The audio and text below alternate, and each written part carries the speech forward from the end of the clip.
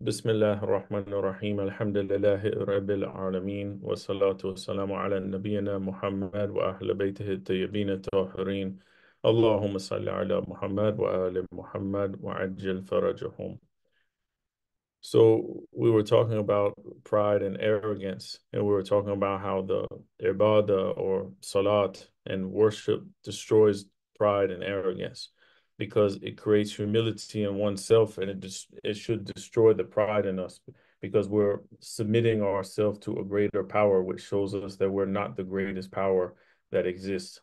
When whereas some people think that they are the greatest thing that exists like Pharaoh for example or Nimrud. They thought that they themselves were God. And um you know worship that's accompanied with pride is never accepted by Allah subhanahu wa ta'ala.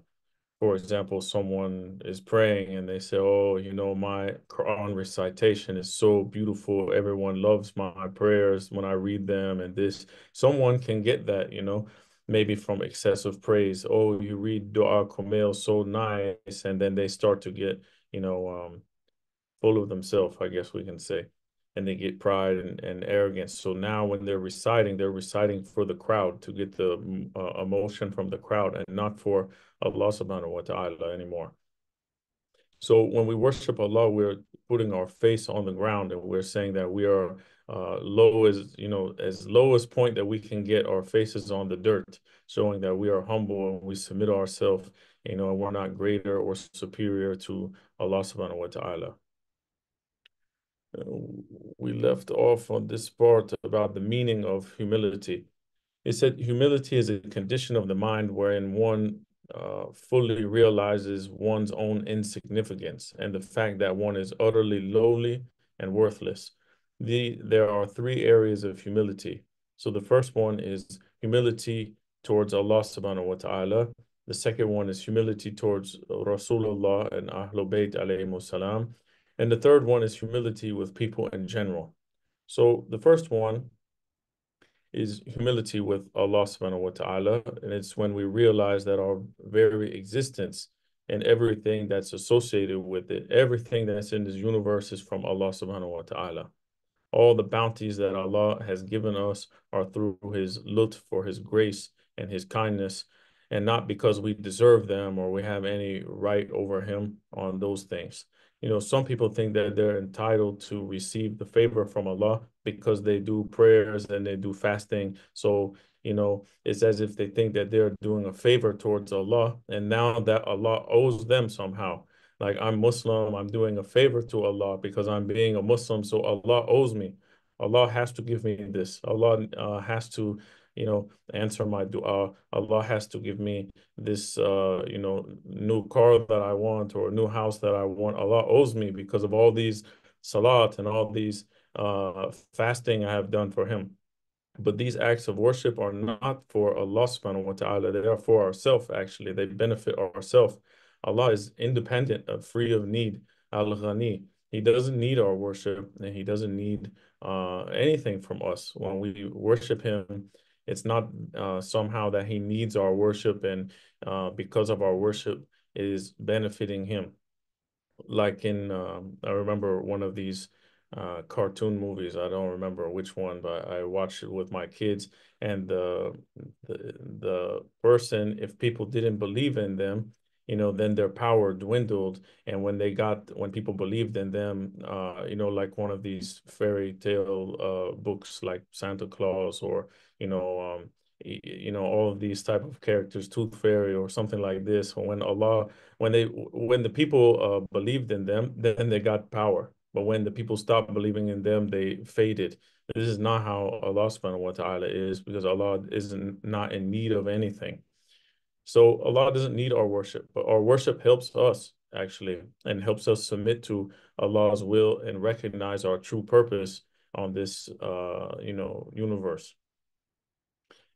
He says this realization creates a feeling of humility and lowliness towards Allah, which is to be expressed by continually seeking Allah, seeking His pleasure through sincere obedience, worship, and good actions to be aware that we are not really able to worship Allah as he deserves to be worshiped and to be aware of our severe limitations in fulfilling our duties towards the Almighty because of our ignorance and lapses.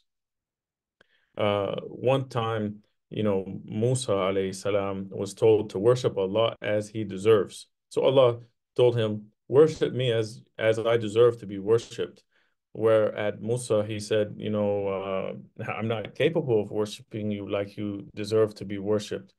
And, you know, Allah told him because of that, uh, him recognizing that fact that he is not able, he doesn't have the capability to worship Allah as he deserves. The fact that he acknowledged that was in fact worshiping Allah as he deserves we see Rasulullah sallallahu the greatest creation ever in existence, that he would pray until his ankles would swell. And uh, his wife would ask him, you know, you are guaranteed Jannah. You are the, you know, Rasulullah, you're going to paradise. You know, why do you need to put so much effort into praying that your ankles swell? And he said, you know, why shouldn't I be a grateful servant of Allah? Because he knows you know, no matter what we do, we will never be able to worship Allah the way He deserves.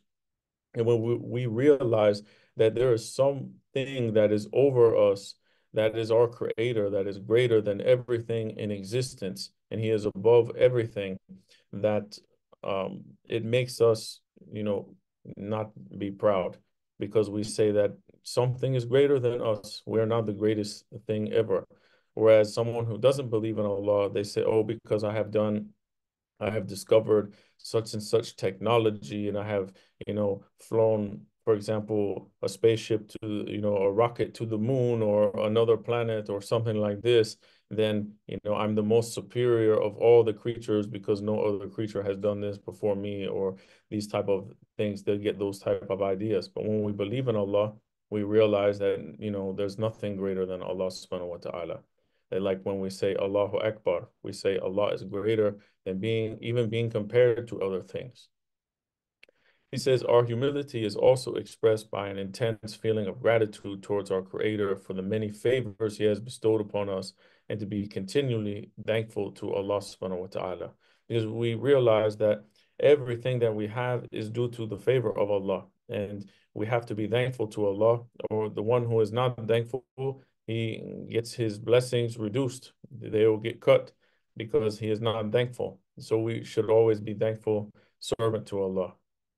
It said that it's recommended that whenever we're reminded of our, you know, past bounties or favors that Allah has done to us, we should perform sajda to shukr, uh, prostration of thanks, doing one sajda and saying shukran lillah.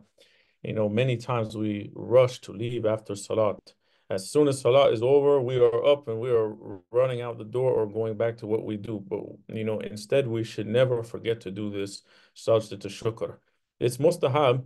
There's no blame if someone doesn't do it, but it only takes a few moments where we can thank Allah subhanahu wa ta'ala for the bounties that He's given us and even for the bounties that we are unaware of, that we don't even know that He has given us. Maybe He averted some calamity from us that we didn't even know about and we don't know to thank him. But we thank Allah for everything, even the things that we uh, forgot to thank him for, or the things that we are unaware to thank him for. He says divine favors should be regarded as honorable and sacred as they are bestowed on us from our Lord and Creator. Uh, Rawayat from our Ma'sumin alayhi salam emphasize the utmost respect we should have for the sustenance that we get from our Lord. When you sit, you must sit with humility, like a slave, and eat like a slave. Rasulullah sallallahu wasallam, when eating, he used to sit in the position of tashahud that we do in our salat. He said the etiquette, according to the Ma'sumin alayhi to be observed while eating is that we do not eat at the table. Instead, we remove our shoes and sit with res with respect on the ground. This is how they ate. This is their sunnah. So this is a sunnah that we can do there's no harm in eating at a table, but this is just the recommended way that we eat on the sufra on the ground. And he said, the author says that we pay special re respect to bread. You know, in the in the Middle East, I don't know, uh, probably they do this in Pakistan too, and uh, they do it here in uh, Turkey. They respect bread a lot. You know, they don't throw it away and with the rest of the garbage, for example. When you go by the trash cans, you'll see uh, plastic bags tied with bread on the side. They don't throw it in the trash with the with the rest of the stuff. Or they give this leftover bread, they take it and they give it to the birds, for example. Even my friend was riding on a bus through town and he had a a bag full of groceries and were very heavy and he set the bag on the ground and the bag had a loaf of bread in it. And one lady told him, "Don't put the bag on the ground. The bag has bread. You know, lift the bag and hold the bag, you know, up. You know, to, to not to disrespect the the bread." So you know, the there's a lot of care into you know what we eat, how we eat, etiquettes. How uh, Islam has etiquette for everything and there's a small booklet maybe you have it or it's free online PD, the pdf is uh, Islamic Laws of Food and Drink by Ayatollah Sayyid Sistani, law. It's uh, it has a section in there all about the etiquettes of eating and drinking, and also the laws of what we can eat and what we can't eat, and many things. And it's a lot of information in a small booklet. It's very nice. So he said all the members of the household, both men and women and servants, should all sit at the same dinner spread. So you see, it's not uh, separate where the servants are eating one place and the family is eating other place. He's saying that they all eat together. There's no difference. And we see this in story I mentioned before about Imam Rida alayhi salam, where someone told him, I think you should make the servants sit over there, the African servants. And he said, no, we are all from, you know, have the same father, which is Adam. And uh, you know there's no difference between basically there's no difference between us because Allah says the one that is better is the one who is who fears Allah more. Just paraphrasing the story. So he showed him that there's no distinction between black and white and servant and non-servant and these things in the eyes of Allah subhanahu wa ta'ala he says we started to eat with Bismillah and, with Alhamdulillah. And more important, to be aware and attentive toward the one who is the provider, Al Razak, to be remember who provided us with this food and to be thankful for this food. He said the respect we accord to food is such that even if some food doesn't suit someone's health, you know, that it doesn't set well with them. Maybe someone cannot eat dairy, it makes their stomach upset, or someone cannot eat you know, too spicy food or something like this. He said that the author says one shouldn't say that this food is harmful or this food made me sick. He should say rather my health wasn't suitable for the food or I ate it at a wrong time, you know, something like this. He's showing like the respect towards the sustenance that Allah has given us, not to disrespect it and say and put the blame on the food. Maybe to say that uh, it, it wasn't good for me at that time or something like this. Humility before Allah is to show respect and honor for all things connected with Allah. The names of Allah, for example, are not to be touched without wudu. There shouldn't be any disrespect shown toward the names of Allah, or they shouldn't be, you know, uh, trampled on or walked on or thrown uh, with the garbage, for example and he says that no one should sit with their legs stretched towards them, towards the name of Allah. And this also, you know, we cannot touch the name of Allah without wudu. And this also applies to the name of Allah uh, in any language, whether it is God, Khuda, Dios, or any of the the you know the names that they translate into other language. When it comes to the to the name of Allah subhanahu wa ta'ala, we should be in wudu when we touch these uh, the name of Allah. Also, he said, uh, masajid or the masjids are sacred places that we should respect. We should feel the utmost respect for them. And uh, he says, Allah says in Surah Al-Jinn, ayah 18, indeed the mosques are for Allah. So these are for Allah subhanahu wa ta'ala. So we have to respect the masjid he says, you know, we shouldn't spit in the masjid, for example, or to enter with, um, you know, bad odor, or to speak loudly, or to speak about, you know, the things of this dunya in the masjid. Um, this applies to masjid, but we can also take it a step further when, you know, the places that we remember Ahlul Bayt, like Husayniya, because most of the centers in America are not masjid. Maybe just a few of them, like one in Dearborn and maybe a few other places. But most of the time, because masjid has a lot of rules, a lot of laws, and a lot of things you can do and a lot of things you can't do. A lot of um, also it needs to be established, not place that is bought. It needs to be built from the ground up as a masjid, and you cannot sell it and mm, without many other conditions. So it's it's more difficult for masjid. So most people make a Husseiniya or Islamic center like a Markaz or something like that. So he said we should respect the masjid. I also say we should respect Husseiniya also, you know, in a similar way. And we have to remember why we are in that masjid in the first place, because masjid is like Baytullah, like a house of Allah, where he's remembered at. And unfortunately, you know, some people, they come to meet at the masjid or the Husseiniya, and they come to discuss haram things, or they make bad plans, or they, you know, backbite one another, and they come to center for that. You know, we have to remember the purpose why we are coming there. And, you know, when someone does these things, they come to the masjid in order to backbite. It's type of arrogance, really, to say that I'm going to go in the house of Allah. I'm going to talk bad about other people. But people don't think about it like this. They just look at it like a building because they've lost touch with the reason why they're going there in the first place.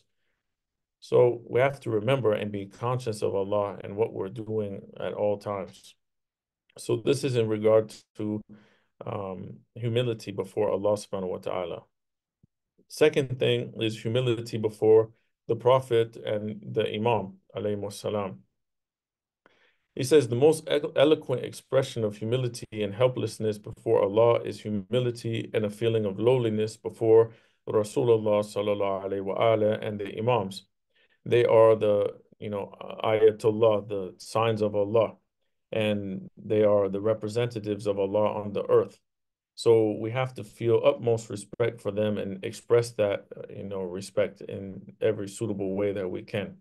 So uh, humility before them is due to the fact of the position that Allah has given them, and it is because Allah has honored them. So honoring the signs of Allah is also honoring Allah subhanahu wa ta'ala.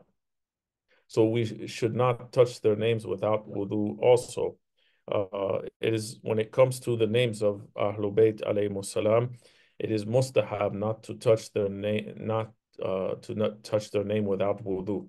When it comes to the name of Allah, it is wajib not to touch their name without wudu. But we should be careful and you know uh, uh um, adhere to the mustahab too when we can, not to touch their names without wudu.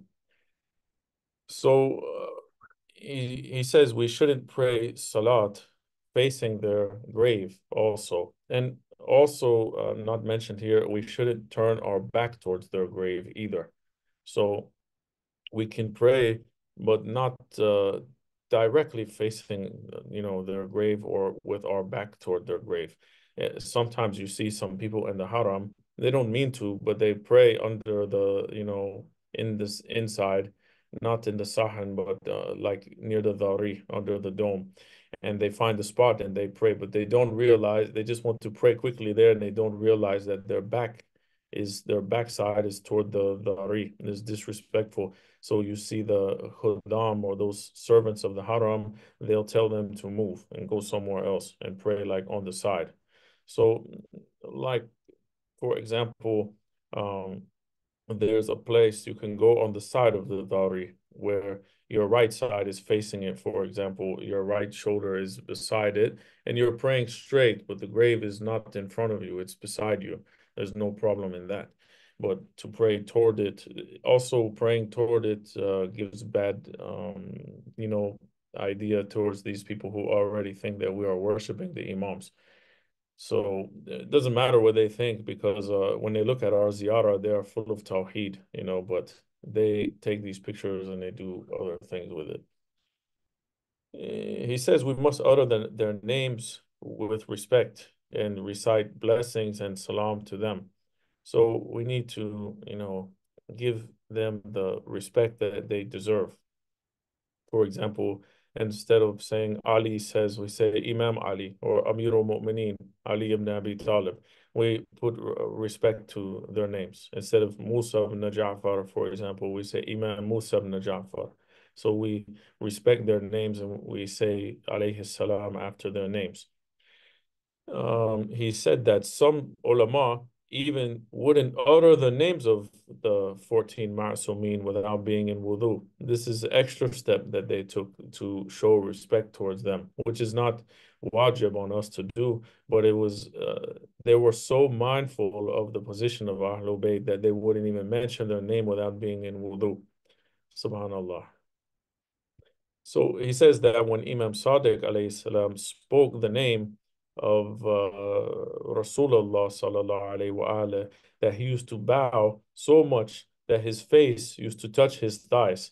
So this is the respect that Imam Sadiq alayhi salam would give towards uh, Rasulullah sallallahu alayhi wa in the same way, respect and honor to the scholars, the ulama, and the sadat, the lineage, the descendants of Rasulullah, and the imams of Ahlul Bayt alayhi salam. One should respect them you know, uh, any just uh, scholar meeting the qualifications of being scholar, then we should respect that scholar. Uh, do and, and we should respect also if they're non-scholar, maybe they are Sayyid. We say Sayyid, and for example, our, our master, or you know, or Sayyid, you know, from the line of the Prophet. We show them respect due to their lineage with the Prophet. Sallallahu alaihi wa So this is Second point regarding uh, humility with the Prophet and Ahlul Bayt salam. The third point he mentions is humility with people in general. He says all the human beings are equal with respect to their creation. All are creatures of Allah, and Allah is the one who sustains and nurtures us all. So we are equal in this. All of us are under his protection, his vigilance, his jurisdiction, so it doesn't befit any human being, both by logic and rules of Sharia, to consider himself superior to any other person and to feel proud about that.